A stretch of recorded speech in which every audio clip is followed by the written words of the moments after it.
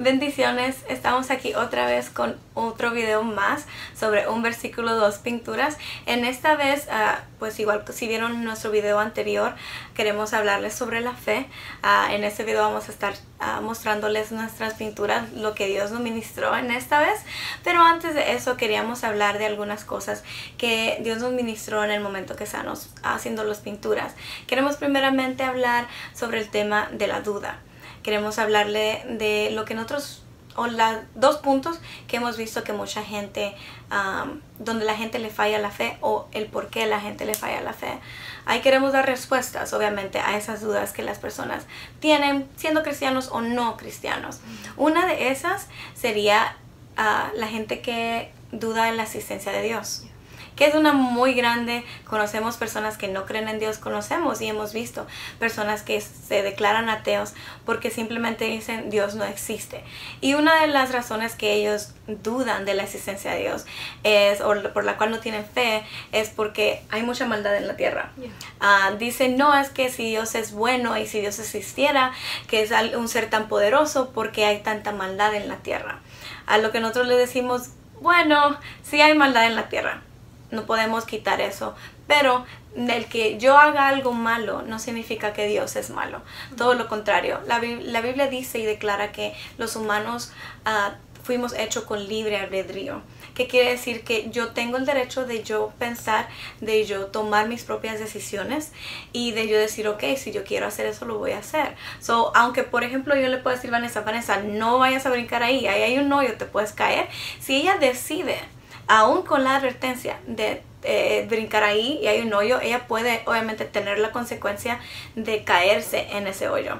Y um, igual, hay maldad en la tierra no porque Dios sea malo, no porque Dios no exista, todo lo contrario. Nosotros tenemos libre albedrío, nosotros por nuestras propias concupiscencias, como lo dice en la Biblia, uh, creamos la maldad. Nosotros creamos las guerras, nosotros somos malos en contra de nuestros prójimos, a nosotros nos falta amor.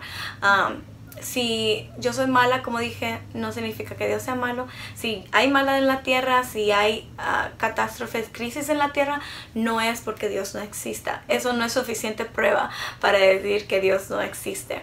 Ah, otra de las cosas que tenemos acá es que gente duda que Dios existe porque no lo pueden ver, no lo pueden tocar, no es alguien que pueden tal vez escuchar.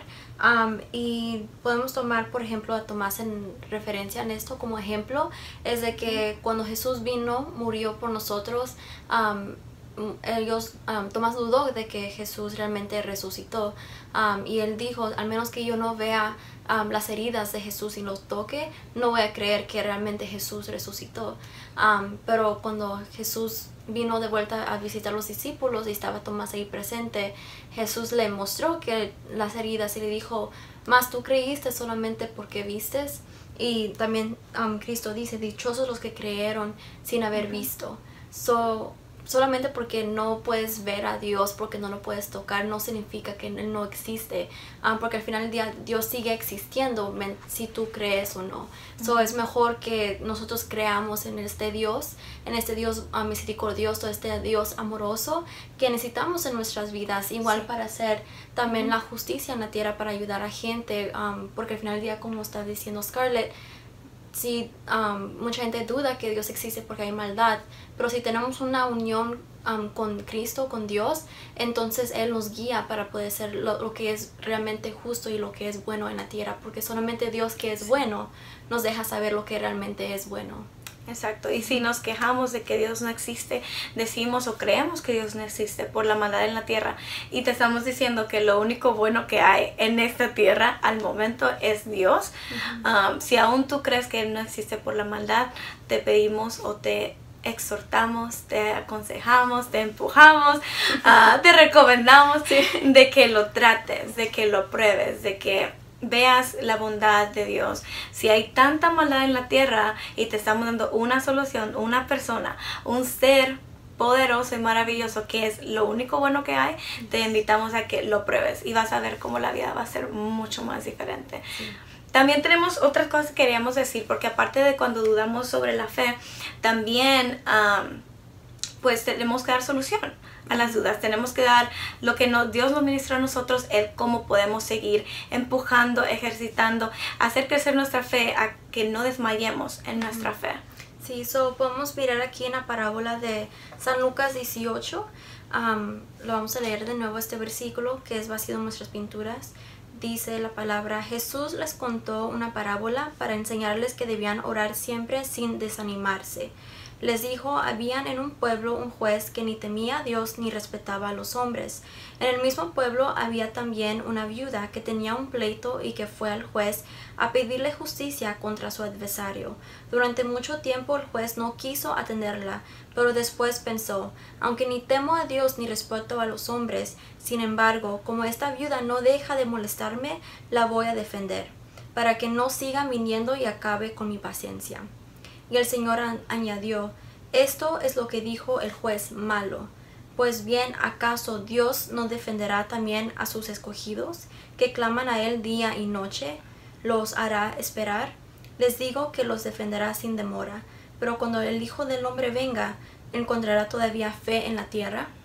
So, aquí queremos enfocarnos en el primer versículo que viene siendo la razón por qué Cristo dio esta parábola, que dice aquí Jesús les contó una parábola para siempre enseñarles que debían orar siempre sin desanimarse. So, cuando nosotros oramos una oración persistente, um, aquí Dios os quiere decir, ok, ora con fe, pero no desanimarnos, porque a veces cuando ah, nosotros estamos orando y no miramos una respuesta rápida de Dios, pensamos, ok, Dios no me, no me está escuchando, Dios no, tal vez puede causar que hasta como una, uno dude de su fe, que, ok, Dios realmente no existe porque estoy orando y no miro resultados. pero aquí está diciendo Cristo que no, tienes que orar, ser persistente y no desanimarse en su oración, porque en ese, ese periodo de espera es que aun causa que nuestra fe se active, causa que nuestra fe se fortalezca. Entonces, por eso es necesario también tener un momento de espera en la respuesta de Dios, porque cuando nosotros esperamos una eso causa que nuestra fe aumente. Y si realmente si Dios así responde rápido en ese si tú haces una oración y en 10 segundos Dios lo hace pues entonces realmente no necesita no, no hay razón por qué necesitamos fe porque es algo rápido pero es en el momento de espera que podemos nosotros trabajar esa fe y hacer que... Y además que, las cosas se aprecian más. Cuando uno espera algo por tiempo y tiempo, y cuando eso llega, no es solamente de que llegó y eso fortaleció automáticamente mi fe, sino que yo creo, wow, yo esperé, pero Dios lo hizo de todas maneras. So, cuando uno vuelve y se ve en otra situación donde uno tiene que esperar, donde uno tiene que orar con, fe, uno dice, no está bien, porque Dios ya lo hizo. Dios ya lo, lo, hizo la primera vez cuando yo esperé y me fortaleció. Y es como un gozo, porque tú lo, tú, you learn to appreciate it. Tú, tú ah, como que lo esperaste y ahora cuando al final, al final llega, como que sí realmente lo puedes disfrutar, como que realmente... Tú aprendes a apreciarlo, apreciarlo, porque como ella decía, si tú oras hoy y hoy mismo Dios te responde, que sí puede pasar, Dios es un Dios soberano, eso puede pasar, pero hay muchas personas que si Dios nos responde de una vez, se pierde lo que Dios quería hacer con nosotros, la fe que Él nos quería pues ejercer, ejercer o, incrementar en nosotros. Pero también hablando de la oración, yo pienso que um, también tiene que ver qué tipo de oración. So, si vemos un poquito más para abajo, porque obviamente esto se trata más de nosotros enfocarnos en la palabra de Dios, más que la pintura, más que nuestros talentos, más de ser nosotras dos aquí a pintar y vernos bonitas, es de, es de enfocarnos en la palabra. Y si nosotros seguimos un poco más para abajo, en ese mismo versículo 18, bueno, capítulo 18, perdón, en el versículo 9 comienza otra parábola, que es una palabra parábola sobre el fariseo y el cobrador de impuestos. En el capítulo 10 dice, dos hombres fueron al templo a orar. El uno era fariseo y el otro era uno de esos que cobran impuestos para Roma. El fariseo de pie oraba así, oh Dios, te doy gracias porque no soy como los demás, que son ladrones, malvados y adúlteros, ni como este cobrador de impuestos. Yo ayuno dos veces a la semana y te doy la décima parte de todo lo que gano. Pero el cobrador de impuestos se quedó de cierta distancia y ni siquiera se atrevía a levantar los ojos al cielo, sino que se golpeaba en el pecho y decía, oh Dios, ten compasión de mí, que soy pecador. Les digo que este cobrador de impuestos volvió a su casa ya justo, pero el fariseo no, porque el que a sí mismo se engrandece será humillado, y el que se humilla será engrandecido. Aquí, obviamente, si leemos la palabra dividiéndola, por capítulo, por versículo. Hay muchas veces que no vamos a entender todo el mensaje que Jesús quería hablar. Pero si en este eh, capítulo seguimos leyendo, Él es una continuación de todo lo que estaba diciendo. Está hablando de la oración, está hablando de la fe. Y en esta parte está diciendo, ok, mira, así tienes que orar, tienes que orar ferviente, tienes que no um, desmayar en la oración.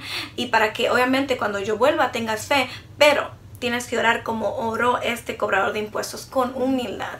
No podemos simplemente porque, oh, ya Jesús lo hizo todo, si Él cree que yo soy merecedor de que Él me dé su salvación, entonces soy merecedor y yo puedo orar así y puedo creerme que lo merezco. No.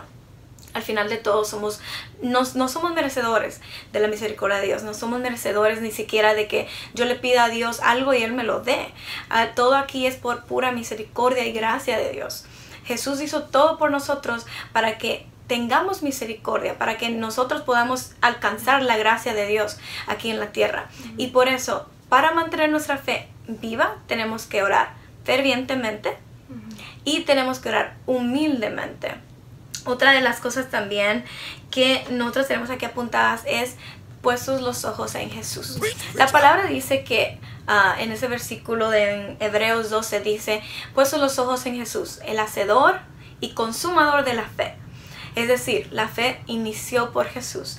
Ah, él fue el que vino, Él fue el que hizo todo, Él fue el que lo hizo posible de que el velo se rasgara y nosotros entráramos libremente a tener esa fe. Pero tenemos que mantener nuestros ojos en Jesús. Podemos tener maestros, podemos tener líderes, podemos tener pastores, evangelistas, apóstoles, todo lo que haya, porque para eso estamos aquí, para edificarnos uno al otro. Pero al final de todas las cosas tenemos que tener nuestros ojos puestos en Él, porque al final el que nos va a salvar por su gracia es Él. El que va a tener misericordia de nosotros es Él. Entonces, si vivimos la vida creyendo que vamos a tener fe, sin una vida de oración, sin una vida ferviente de oración, sin una vida de humildad, como Jesús mismo se humilló, se dio su vida siendo rey de reyes y señor de señores, entonces tampoco si no vivimos una vida mirando a Jesús, no podemos tener una fe clara, una fe activa, una fe que constantemente va ah, subiendo y va incrementándose. Y también otra de las cosas, estamos hablando mucho, pero estamos casi terminando, otra de las cosas también es mantenernos mantenernos en lo que conocemos. Puede ser que hoy nos venga una nueva prueba, puede ser que hoy nos venga una nueva crisis ah, en este mundo, como estamos viviendo las cosas, ah, pero conocemos algo, es que Dios es fiel. ¿Verdad, Vanessa? Que aunque te venga cualquier cosa nueva hoy que tú digas, yo no sé cómo lidiar con eso, tú sabes que Dios es fiel. Porque lo ha hecho antes en mi vida. Él lo ha hecho antes. Entonces, si tienes dudas hoy, si hoy tu fe está siendo probada o tu fe está siendo golpeada, mantente en lo que conoces. no hay nada más bonito que uno saber que Dios es fiel, aún siendo nosotros infieles. Exacto. Y siempre tener esa esperanza de que Dios va a responder, porque a veces, si en ese momento que nos sentimos tan desesperados y necesitamos con que Dios responde, Dios responde. Pero solamente porque Dios está en silencio no significa que Dios no está presente. porque es en ese momento de silencio, es cuando ahí tu fe tiene que responder, es ahí cuando tu fe tiene que hablar. Porque cuando Dios responde es cuando uno tiene que callar y escuchar, pero cuando Dios es, calla es cuando nuestra fe tiene que hablar.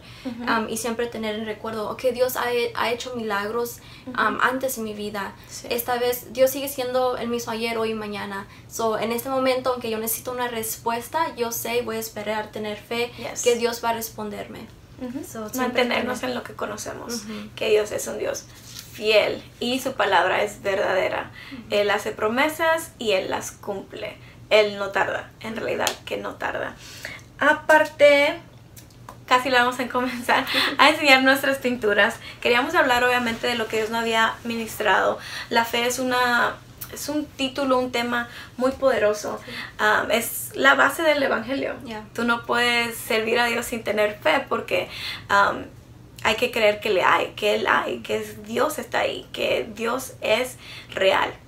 Y y tener fe en el, Evangelio, en tener fe que realmente Cristo vino, murió por nuestros pecados y que resucitó. Y esa es la you know, mayor fe que debemos tener, es la, el centro de nuestra fe, es de que Cristo vino a morir por nosotros para que nosotros podamos tener comunión con Él. nunca perder fe en eso y nunca acostumbrarnos del Evangelio, como que, ok, ya he escuchado tantas veces gente predicar de que vino Jesús, murió por mis pecados, como que, ok, predícame algo diferente, pero eso no es, tenemos que siempre tener esa pasión, ese primer amor, cuando la primera vez que escuchamos este evangelio de que Cristo vino a morir por nuestros pecados, siempre mantener eso encendido en nuestras vidas, porque si nos acostumbramos de eso, entonces no, no puede ser, tenemos que siempre tener eso todos los días estudiar la palabra de Dios en eso del Evangelio. Y si realmente ya tú sientes, ok, sabes que como que me acostumbré a esto, no siento tanto pasión, eso es como un 9-11, es tiempo de volver a, levantar el Evangelio y, volverlo a leer y estudiar y ser apasionado sobre eso. Y ahora llegó la hora, no mentira. Oh. Antes de mostrarle nuestras pinturas, ya finalmente queríamos tomar unos otros dos minutos para hablarles sobre el por qué nosotras tenemos fe.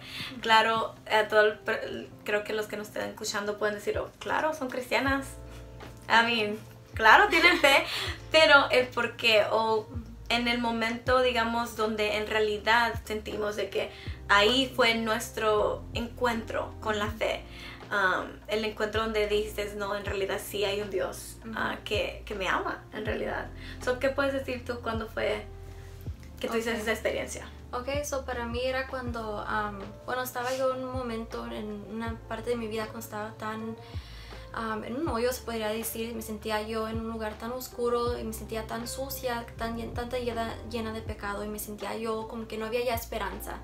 me sentía yo como que no era amada, me sentía tan rechazada y sentía como que, pues, como que no le importaba a nadie. Y me acuerdo que una vez estaba un domingo y estaba nuestro pastor predicando y él durante la predica él estaba hablando que Dios quería sacarte de, de un hoyo, que Dios quería mm, extender su mano y sacarte y que era cierto porque uno trata, puede, you know, leer libros, meditar o lo que dice el mundo, you know, pero al final del día realmente necesitamos Cristo, que Él es el que viene y nos saca de, de, ese lodo, de, de, ese hoyo. Y es donde yo empecé a orar y le dije a Dios, Dios, si realmente existes, si realmente estás aquí a mi lado, dame una seña, quiero que sentirte que estás aquí a mi lado y prométeme que tú realmente no me vas a abandonar, que tú realmente estás a mi lado. Um, y que me amas. Y estaba yo orando y estaba así, se me sentía una desesperación porque quería lo que estaba diciendo el predicador que sea real, como que sea esto real. Y yo estaba así tan desesperada y empecé a llorar. Y en ese momento, cuando estaba así llorando, sentí como que alguien vino a sentarse junto a mí y sentí como que se movió la silla y en ese momento, pues, como que, ay, pues, ¿quién vino pues, a sentarse al lado mío? Y así cuando alcé los ojos, uh, miré que no había nadie allí, pero estaba el asiento bajo y se sentía como que alguien estaba ahí sentado a mi lado. Y es cuando sentí que Dios me dijo, yo estoy a tu lado y nunca te voy a dejar. Y nunca me ha dejado. So, desde ese momento hasta hoy yo nunca he vuelto atrás, nunca he visto atrás, porque realmente una vida con Cristo ha sido lo mejor, lo máximo. Y esa es la razón que yo creo. Que tú crees, sí. Igual yo tuve una experiencia, digamos que un poco más solo, un poco más ah, sencilla. y eso fue obviamente en el principio, cuando yo me convertí. yo llegué aquí a los Estados Unidos y me convertí aquí, tenía 11 años nada más. y para mí fue algo tan grande de que en, esta transición de que mi vida cambia de un nuevo idioma, un nuevo lugar, un nuevo país, encontrarme también con Dios porque nunca pensé que oh, mi vida iba a cambiar en esa manera. Y tenía 11 años, o era bien inocente también. Pero me acuerdo específicamente, uh, hacían cultos en mi casa, en el basement. Y yo estaba pasando como que esa transición de preteen, de que quién soy, a dónde voy, ahora soy cristiana, soy cristiana, ¿qué es esto? de quién, me, de quién es ese Dios que me están hablando, porque tampoco sabía. Y el ver que Dios usó en ese momento, yo no sabía obviamente que Dios estaba hablándome, pero en ese momento Dios usó a la pastora que en ese entonces teníamos y ella fue directo donde mí y me dijo exactamente lo que yo estaba pensando, exactamente lo que yo estaba sintiendo en ese momento y es como que, ponte a pensar, un niño de 11 años ah, con una mente súper inocente, no como los niños de ahora, pero ah, inocente de decir, ok, ¿cómo esa señora supo? Y el yo comenzar a llorar sin saber por qué estaba llorando. Yo creo que eso a mí me marcó y nunca se me va a olvidar. Ah, no, nunca se me ha olvidado, yo creo que nunca se me va a olvidar el hecho de que Dios, eso me hizo sentir como que un Dios tan grande, venir y pararse enfrente de una niña y decirle, yo sé exactamente lo que estás pensando. Y yo sé exactamente lo que estás sintiendo. Y lo que estás sintiendo y lo que estás pensando para mí es importante. Ah, yo creo y los padres que nos están escuchando, nosotros no somos madres todavía. Ah, si Dios quiere en un futuro tal vez. Pero ah, yo creo que los padres que nos, están, nos pueden estar escuchando, que han tenido ya que niños que han pasado esa edad, saben que en esa edad es un poco fuerte, es un poco di, difficult, porque estamos tratando de como hacer la transición, de conocer quiénes somos, eh, de conocer, obviamente, madurar nuestra mente, nuestros sentimientos. Y el hecho de que alguien te diga en ese momento que lo que tú, una niña de 11 años, piensa, lo que estás sintiendo es sumamente importante para él, y, diciendo, ok, it's okay, it's okay lo que estás sintiendo, uh, de todas maneras yo te amo, de todas maneras yo voy a estar aquí, se va a ir toda la confusión, uh, yo voy a estar aquí y vas a crecer en gracia y vas a crecer conmigo. Y para mí que no conocía, para mí que en ese momento me sentía, aunque tenía mis padres, me sentía sola, porque era como que, ok, me quitaron todo lo que conocía, me pusieron en un nuevo lugar y ahora tengo que conocer a un Dios que tampoco sabía de él. Entonces que ese Dios me diga, it's okay, like, I was waiting for you. Yo te amo y yo siento que lo que tú sientes y lo que piensas es tan importante. Yo te voy a ayudar para hacer tu transición y pues pueden verlo ahora, donde estoy en el momento. Tal vez no sea, tal vez no sea, you conocida o grande, pero lo que yo conozco de Dios y la vida que tengo con Dios, mi relación con Dios, que para mí es más importante que cualquier otra cosa, comenzó porque a esa niña de 11 años Dios le dijo, it's okay, yo estoy contigo. Um, y creo que igual de la igual manera que con Vanessa, Dios le dijo lo mismo, Dios estaba con ella. Um, pienso que estos dos testimonios, por más pequeños que se vean, pueden ministrar a alguien más. Y puede Dios, Dios estar diciendo a alguien ahora mismo de que, it's okay, yo estoy contigo también. Uh, tu fe va a comenzar a crecer, yo voy a estar contigo, no te voy a fallar yo no te voy a dejar. Yo no, aunque te canses, yo voy a seguir ahí. No, Ah, voy a llorar. no llores. Espero que en realidad alguien sepa si lo está dudando, si su fe está fallando, si está creyendo, no, Dios no está conmigo. Dios no me escucha, Dios no, no piensa en mí, Dios no piensa lo que yo estoy pensando, Dios no, no ve ni siquiera lo que estoy sintiendo. Déjanos decirte que en realidad sí lo ve. Sí. Dios lo ve, Dios siente, Dios sabe exactamente. Para Él tú no eres una personita pequeñita. Para Él Él te ve como un igual. Él te ve como importante. Yeah. Así que no dudes. Deja que Él te ministre, deja que Él te impacte para que tu fe crezca y puedas hablar y que tú puedas entonces ministrar a otros en el futuro y que tu fe pueda ministrarle a otros. Exacto. Dios es un Dios personal. Él no es. Antes yo pensaba, desde chiquita, me yo pensaba que Dios era como que, ah, estaba ya en, En su mundo, trono, muy lejos. bien lejos, y yo estoy aquí con una, una hormiguita aquí, nada más caminando por aquí. Pero no, Dios es un Dios personal que Él quiere tener comunión con nosotros. Él quiere hablar contigo, saber cómo está tu día. Like, a veces sentimos como que, ay, yo, yo desearía como tener un amigo, una amiga que realmente like, me le importe o algo así, pero o mm, tal vez si no tienen un padre, ay, yo quiero un, un- yo desearía que mi papá estuviera conmigo, pero Dios es ese papá, Dios es ese amigo, Dios es ese compañero que siempre tenemos presente, que podemos siempre hablar con él y él nos como a veces las personas que están tal vez muy ocupadas para escucharte o tienen mucho en su mente, él realmente quiere saber cómo estás, cómo te sientes y quiere mejorarte. Like, si te sientes vacío, Él te quiere llenar. Si te sientes no amado, Él pues, está como que no, eso no es cierto, yo te amo. Y eso es la... oh, wow. Dios es lo máximo. Yeah. Dios es lo mejor que nos ha pasado ah, y por eso hablamos de Él. Por eso podemos seguir minuto tras minuto hab- hablando de él Sin parar. sin parar porque Él es, Yeah. eh, he's the best. He's the best thing ever. Es el mejor amigo que podemos tener, el mejor padre que podemos tener. La única persona que tiene la capacidad de no tener problemas en ningún momento de tu vida y decir, ok, es ok, yo te puedo escuchar, yo puedo escuchar todos tus problemas, yo puedo escuchar todo lo que tú estás pensando, yo puedo escuchar todo lo que tú me quieras decir, I got the time. Yo tengo el tiempo, yo nunca voy a estar lleno de problemas, de estrés. No, yo soy Dios, yo te puedo escuchar. Aunque tú creas que no te mereces ser escuchado, I want to. Yo te quiero escuchar. Y bueno, vamos entonces a irnos a las pinturas, porque si no vamos a seguir hablando de lo bueno que es Dios. no te rías.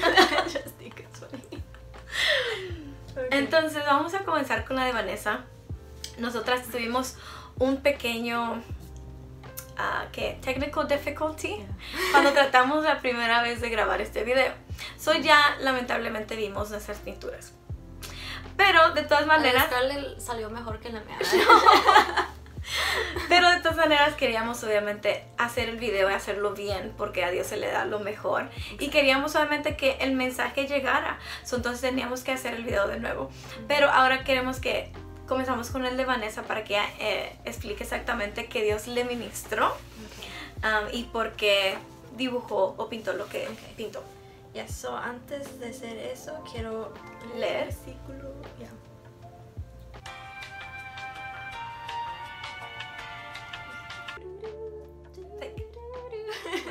tiene momento um, ok, so voy a leer aquí el um, capítulo de San Juan 20, 24, donde dice que Tomás, uno de los doce discípulos que le llamaban el gemelo, no estaba con ellos cuando llegó Jesús. Después los otros discípulos le dijeron, hemos visto al Señor, pero Tomás les contestó, si no veo en sus manos las heridas de los clavos y no meto mi dedo en ellas, a mi mano y, mi mano en su costado, costado no lo podré creer. Ocho días después los discípulos se habían reunido de nuevo en una casa y esta vez Tomás estaba también. Tenían las puertas cerradas, pero Jesús entró, se puso en medio de ellos y los saludó diciendo, paz a ustedes. Luego dijo a Tomás, mete aquí tu dedo y mira mis manos, y trae tu mano y métela en mi costado. No seas incrédulo, cree. Tomás entonces exclamó, mi Señor y mi Dios. Jesús le dijo, ¿crees porque me has visto? Dichosos los que creen sin haber visto. So aquí podemos mirar en este, um, en este, estos versos, um, Cristo ya ha muerto y él resucitó y él se le apareció a los, discípulos, um, excepto Tomás no estaba presente. Entonces los discípulos fueron y le contaron a Tomás, oh my god, like, Jesús vino y estaba, resucitó, no está muerto. Pero Tomás dijo, no creo. Al menos que yo lo vea, no voy a creer. Entonces, um, aquí está la pintura. Aquí, let me hold it so you can explain it. Okay. So aquí es la mano de Jesús y dice, cuando venga el Hijo del Hombre, hallará fe en la tierra. Y cuando estaba yo orando, pidiendo a Dios qué debo pintar, Él me recordó de este, este, esos versículos y me recordó que Jesús murió, resucitó y regresó, pero Tomás dudó. Y entonces aquí Dios me estaba ministrando que cuando Él venga de vuelta va a ver fe en ti vas o vas a ser un Tomás que vas a dudar. por eso es la mano de Dios, como mira, aquí están mis huellas, aquí están mis heridas. Aquí están mis heridas.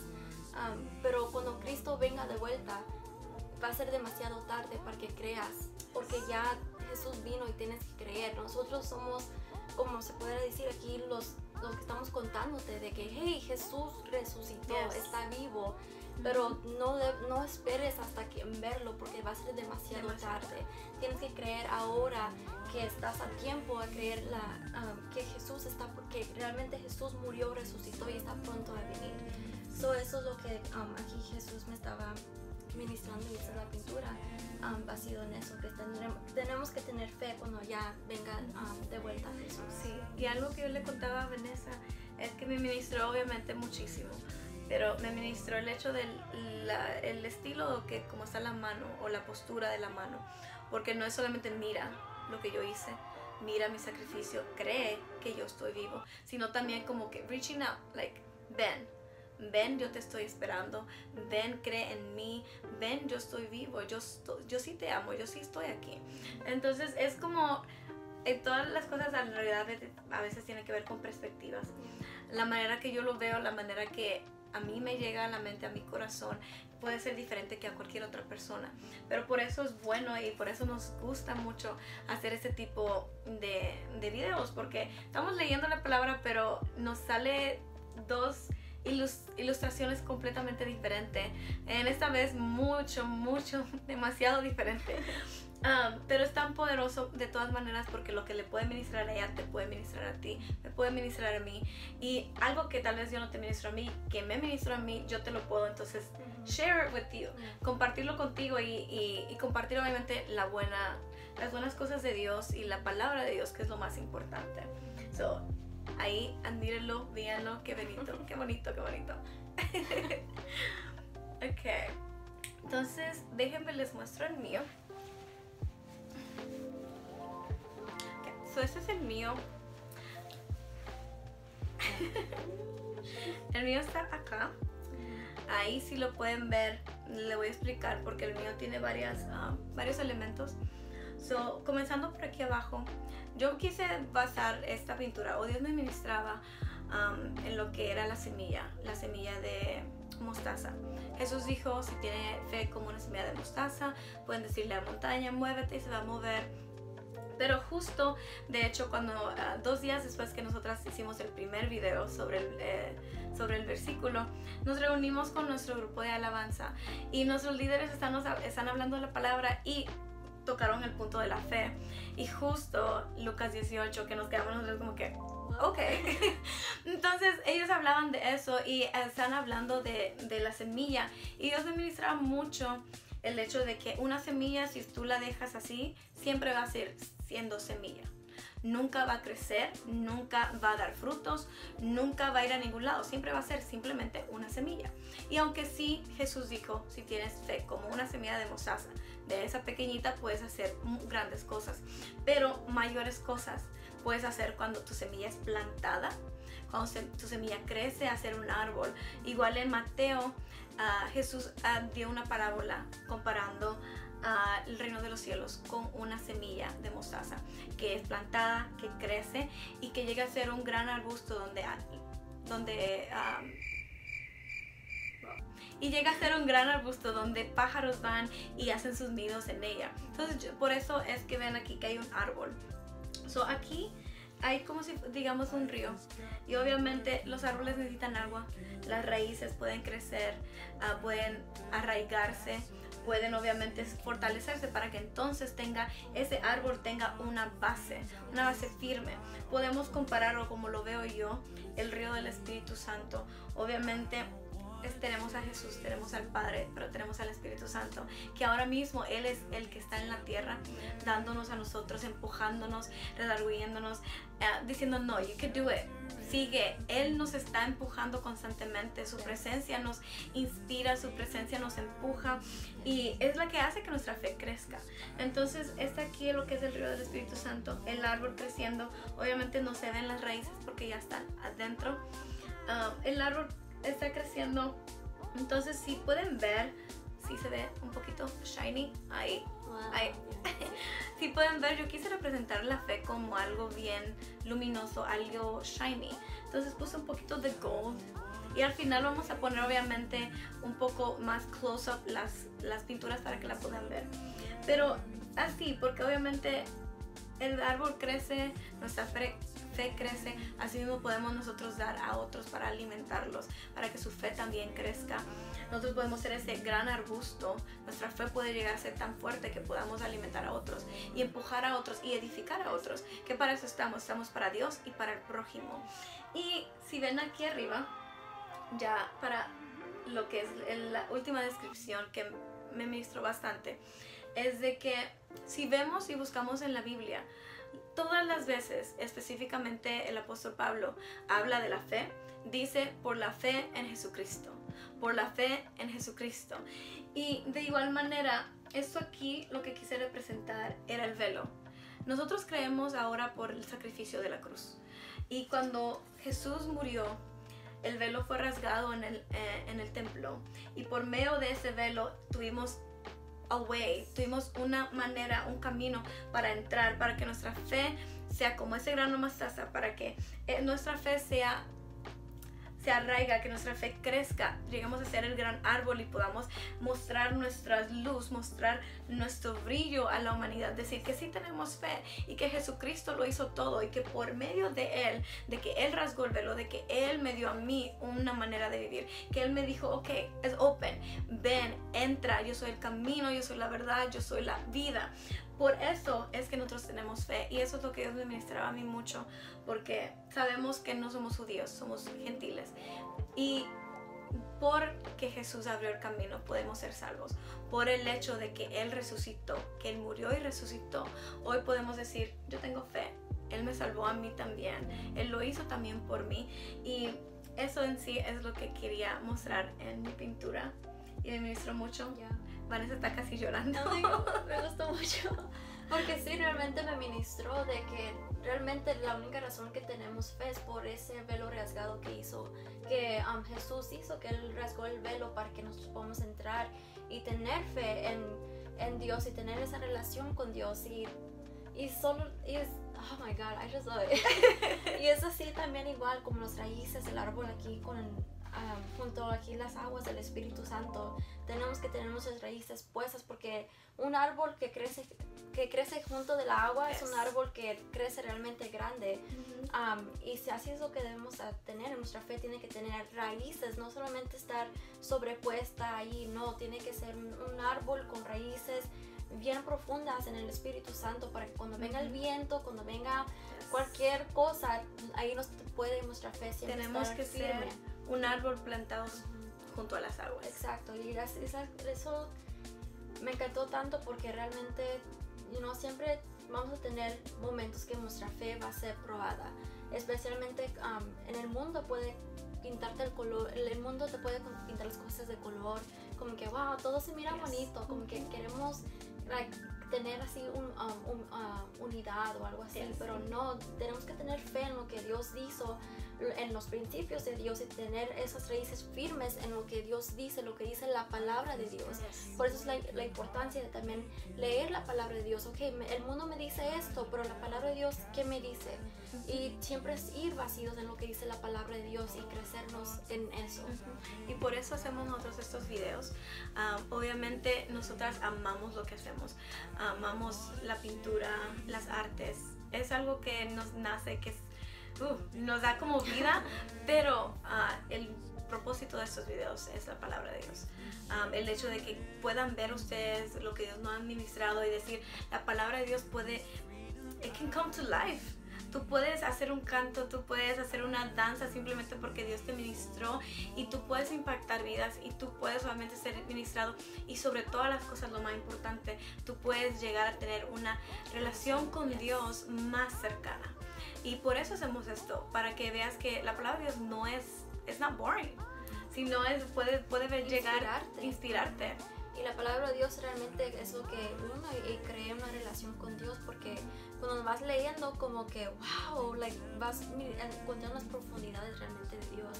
Y es lo que va inspirándote que cualquier talento que Dios te dio, cualquier talento que tú tengas, cuando lees la palabra de Dios, como que le, también como que lo, lo fermenta, como que le, le, da inicio para que también, ok, yo sé pintar, ok, leí una palabra, Dios me ministró esto, puedo pintar algo, um, sé cómo tocar poemas tal vez. Ok, like, leí la palabra, wow, puedo yo escribir un poema sobre esto, puedo escribir una canción, una duración sobre esto. También de diseñar diseños gráficos, también me gusta diseñar gráficos. Y cuando leo también la palabra de Dios, wow, like, puedo yo pensar de diseños que hacer para también you know, por Facebook, Instagram, cuando los, hay gente los, los hace y también puede ahí también evangelizarlo a otra, a otra persona, solamente porque tú hiciste un diseño que alguien lo, lo puede ver. So, siempre, cualquier talento que tú tengas, es siempre por la palabra de Dios puede causar que, que dé frutos, que aumente, que no muera ahí, sino que siga fluyendo, siga fluyendo.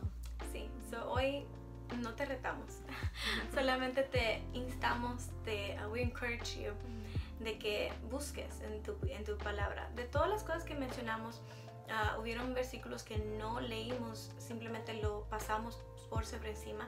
Si algo te, ah, digamos que te, que te ah, chocó o algo te, te, tocó, ya. ah, vea la Biblia. Está ahí en la Biblia. Muchas cosas, muchas veces vemos videos y pensamos, wow, cómo esa persona puede ver y, y puede sacar eso de un solo versículo. Tú también lo podrías hacer. Es tan poderosa la palabra de Dios. Por, y más cuando el Espíritu Santo te dice, mira, eso es lo que, a esto es lo que yo me refería cuando escribimos esta palabra. Y ver las historias de los hombres de Dios y ver que, wow, si ellos lo pudieron hacer, yo también lo puedo hacer. Es tan poderosa, es nuestra guía. a terminar de vivir nuestros días aquí en el mundo hasta que Cristo venga.